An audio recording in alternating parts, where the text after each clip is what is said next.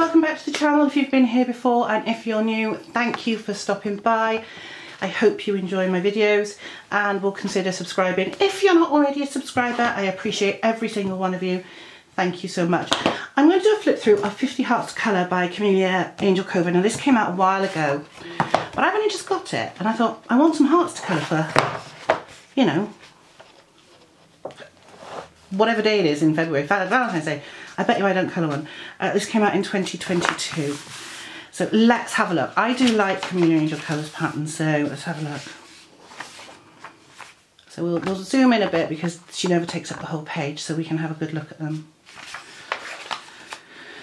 So these are, they're very nice, detailed, zendoodly. Oh, I like that one. Now I tend to colour these sort of pattern books in order. This one I might not, but I, you know, I, I don't know. So I like that one because I like anything to do with sun, moon, and stars. Um, that one's nice as well.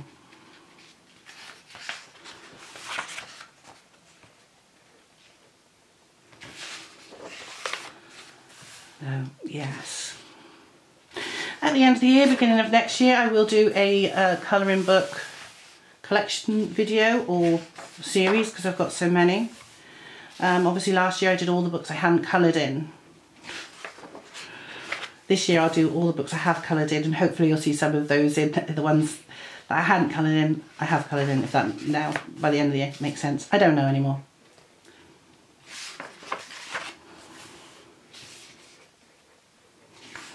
These are really nice, these hearts. I actually really like them. One of the reasons I like to put a flip through of pretty much all the books I get up is because I know there are some people who don't want to buy books without seeing what's inside them first. And I completely understand that. I've been burnt myself a few times buying books and not like the interiors. Uh, they've been very disappointing. Um,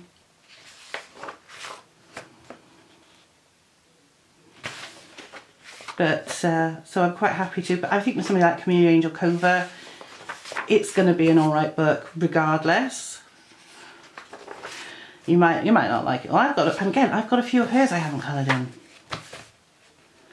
I've got a lot of books I haven't coloured in, and I, I do want to get to them. Do I find it overwhelming? Yes, sometimes when I'm choosing something to colour, and then other times I know exactly what I want to colour.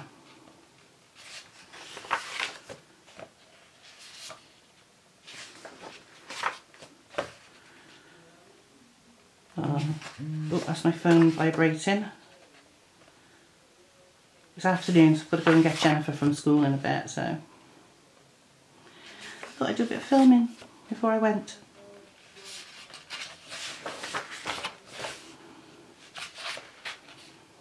I like, I do like these hearts. I can see me using lots of different colours. Oh my god, that one is stunning black background that side, light blue that side. Oh yeah, ah, it's a long way off before I get to that one, but I love it.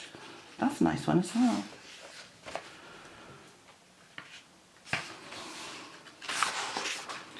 Now I wouldn't necessarily do all these in glitter gel pens at all, but some of them I might. Um, some of them I'll just do them with um, pencils or fine liners. Oh, they're so nice.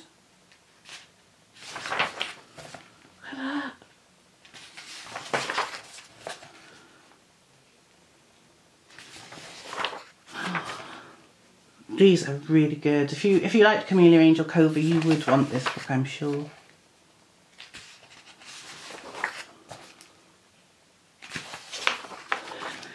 They are so, so nice, these pictures.